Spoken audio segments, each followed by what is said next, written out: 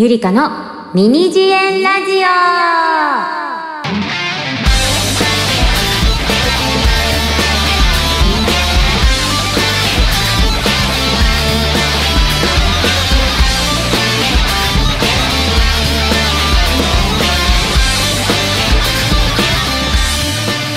2023年10月25日水曜日時刻は21時を回りました。こんばんはゆりかです。ゆりかのミニジェンラジオ。この番組は定期で生配信しているゆりかのラジオを作ってみましたよりももう少しミニマムにタイムリーにお届けするミニラジオ番組です。先週は久々の生配信ありがとうございました、えーゲーム修羅場やイメージソングになっているねパーフェクトワールドのお話を中心にさせていただきましたが10月25日ですか？えー、もう10月どころか今年も終わりますよ。もうだってあと、まあ、約2ヶ月とかしかないでしょ？いやー時の流れを感じます。去年の今頃はね、まあ、その誕生日10月29日からツアーがスタート、まあ、ツアー初日ということで去年の秋にねネットフリックスのえロマンティックキラーも配信になりましたし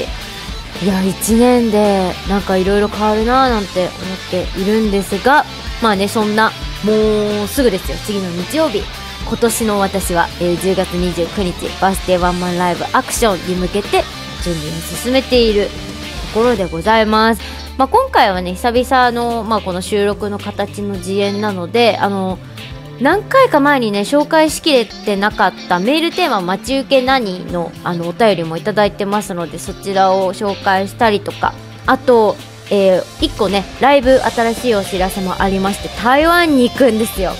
で意外ともうえ11月12日がライブなので意外とねもう時間切ってるんですよ。なのでなんかちょっと私台湾のこといろいろ調べてましてちょっとあのー台湾のねファンの方とかあのーインスタとかが私特に海外の方結構多いんですけどたくさんいらっしゃるし、まあ、この YouTube でもねあの言ってくれてるのでちょっとねいろいろ台湾について調べたりしてるので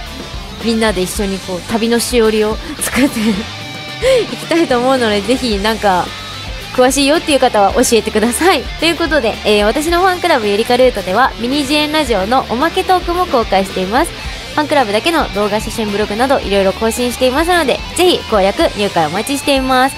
そしてミニジエンそして生配信のジエンラジオの方でもリスナーさんからのお便りお待ちしています。アドレスはゆりか 29.official.gmail.com yurika29.official.gmail.com です。それでは今週も最後まで聞いてください。ミニジエンラジオこの番組はリスナーさんの提供でお送りします。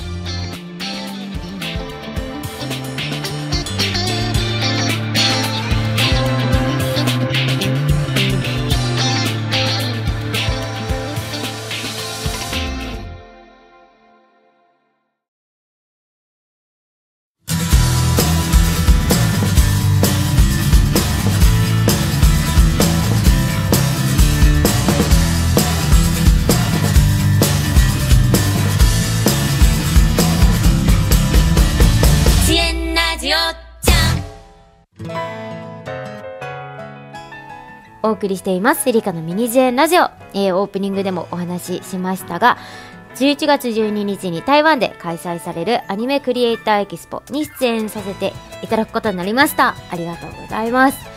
いやもう私ね本当にまアニメとかゲームアニソンゲーソンって日本だけじゃなくて海外でもすごく人気があるものだと思うんですけどね私も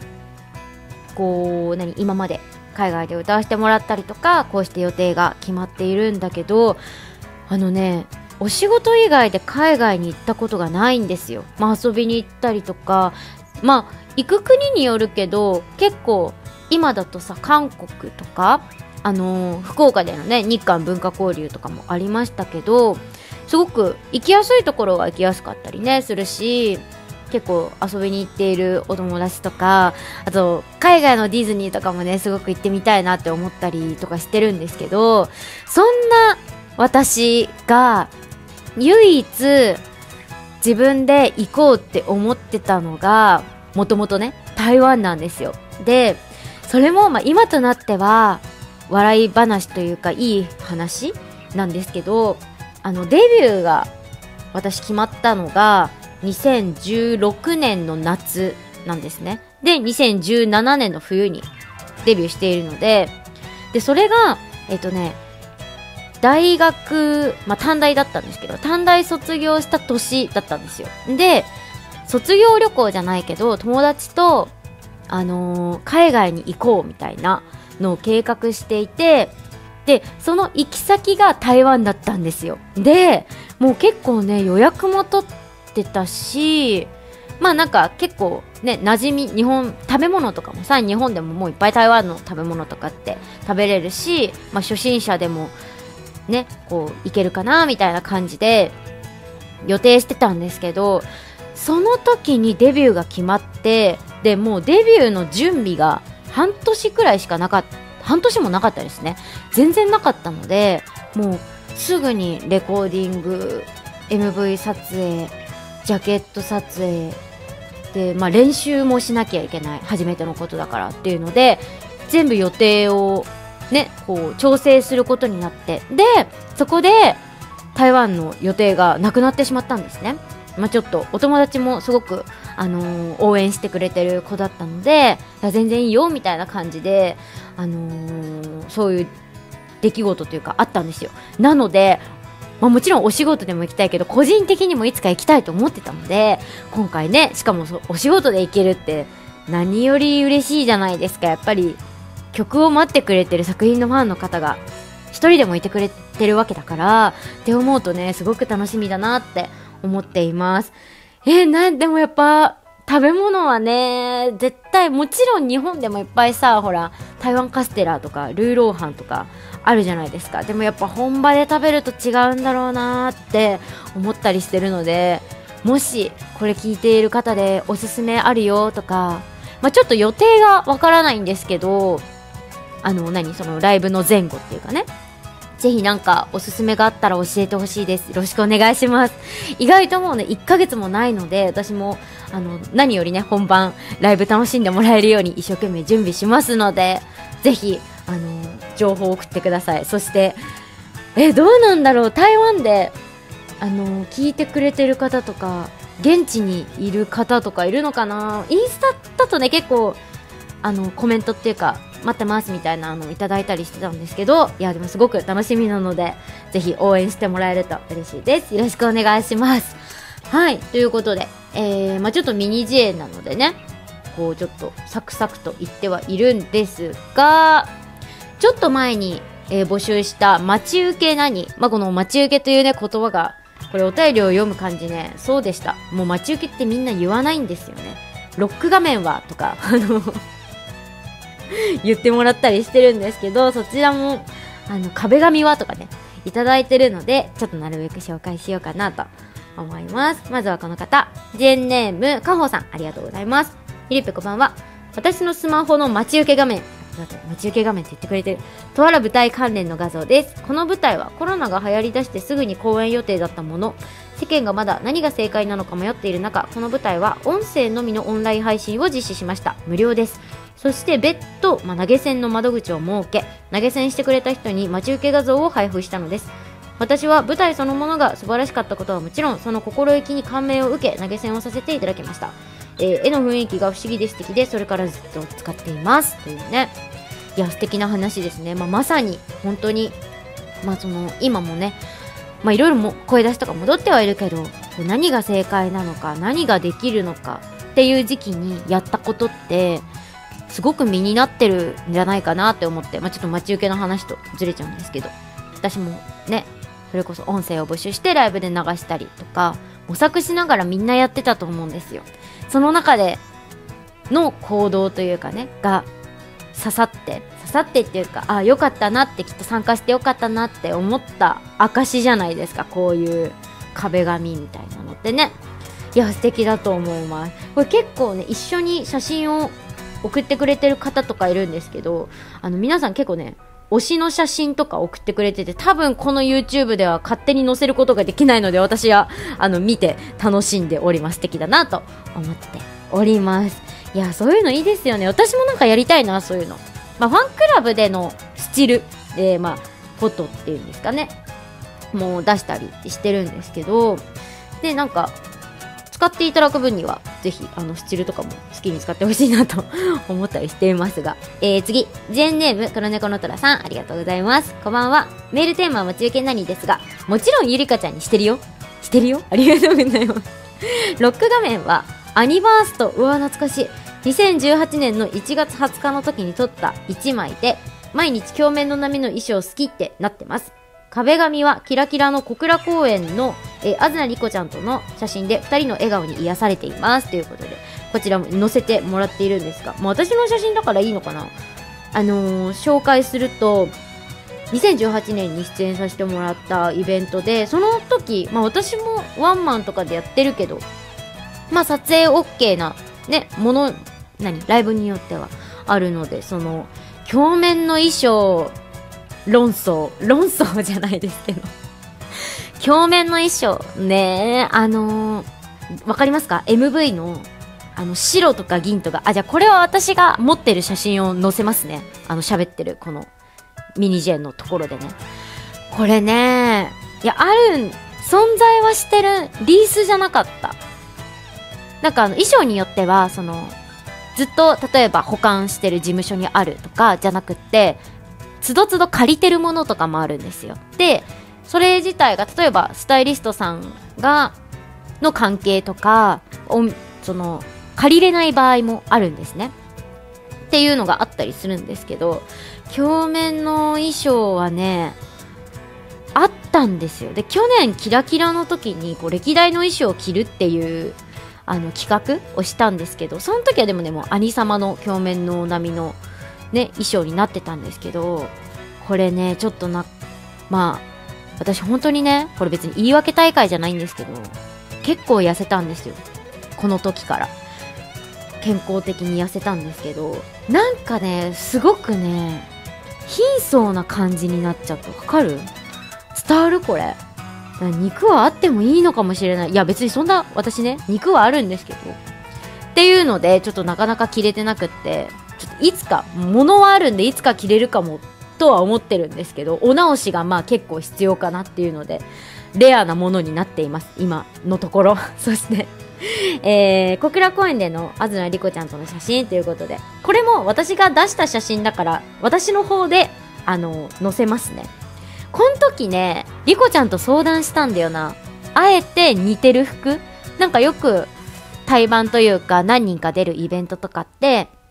まあ本人同士だったり、事前に確認すること、例えば、すっごい鈍化ぶりしちゃダメじゃないですか。赤、赤とか黒、黒とか。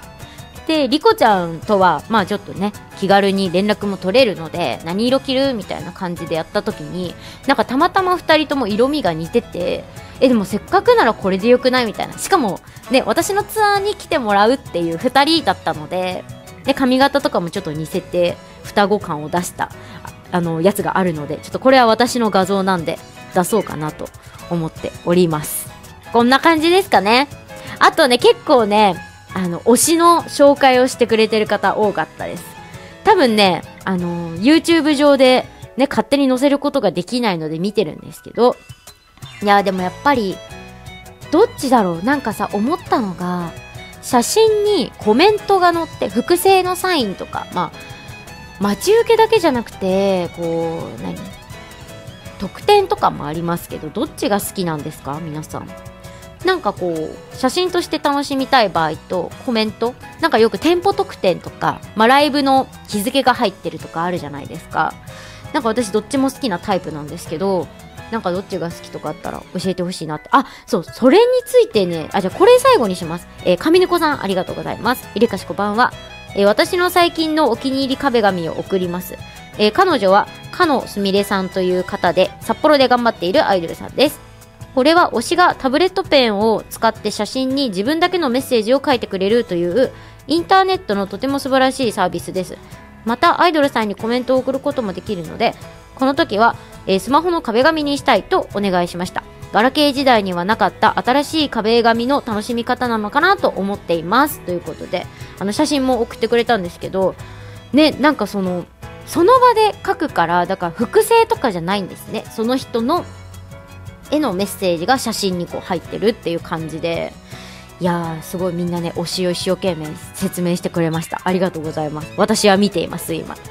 だからこういうのもいいですよね。なんかできることっていろいろあるんじゃないかなって思ってて。それこそファンクラブとか。あと、まあ、インターネットってことでそれこそね海外の方とも何かつながるきっかけにできなるかもしれないしっていうので日々アンテナを張ってるんですけど今回は。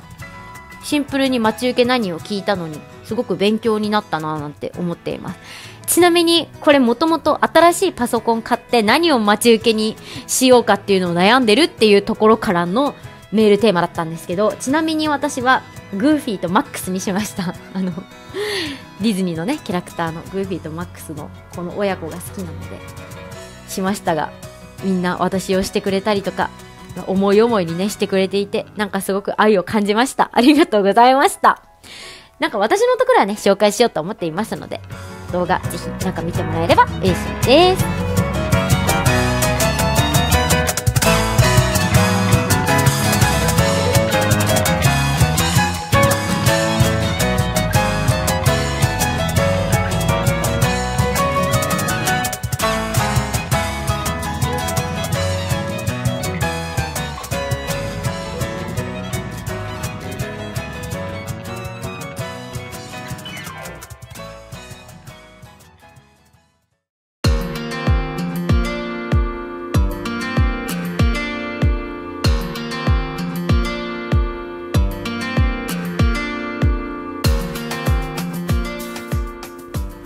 お送りしてきましたゆりかのミニ自演ラジオそろそろお別れのお時間です。ここでゆりかのライブイベントのお知らせです。もうすぐ10月29日日曜日バースデーワンマンライブアクション両国サンライズで開催します。チケット2種類あるのでお好きな方を選んで楽しんでいただければ嬉しいなというのと今回は当日までにファンクラブ会員の方だとファンクラブ限定のピクチャーチケットのプレゼントもありますので、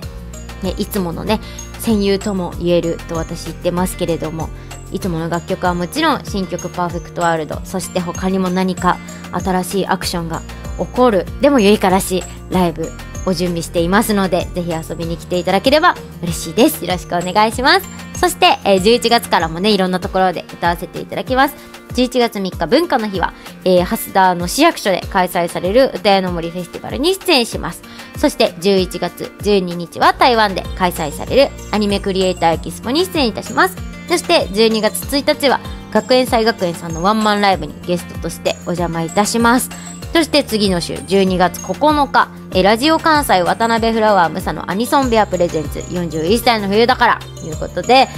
こっからね海外もありますし関西もありますしもちろん関東もありますし。え歌屋はね入場フリー。でどなたでも見ていただけるんですけどその他チケット発売中でございますのでぜひどこかで歌を聴いていただけると嬉しいです。そんな感じでだから来週はもう11月ですね。次また11月ね生配信予定していてちょっとこの日っていうのが今言えないんですけど12 10月29日結構すぐになんかお疲れ様会みたいな配信をしようと思っておりますので、ぜひその時はすぐ連絡、あ、連絡しますってなんか、すごい業務的ですね。あの お知らせしますので、一緒に楽しんでもらえると嬉しいです。それでは、10月29日に両国サンライズでお会いしましょう。ここまでのお相手はゆりかでした。またねファンクラブも更新します。ミニジエンラジオ。この番組はリスナーさんの提供でお送りしました。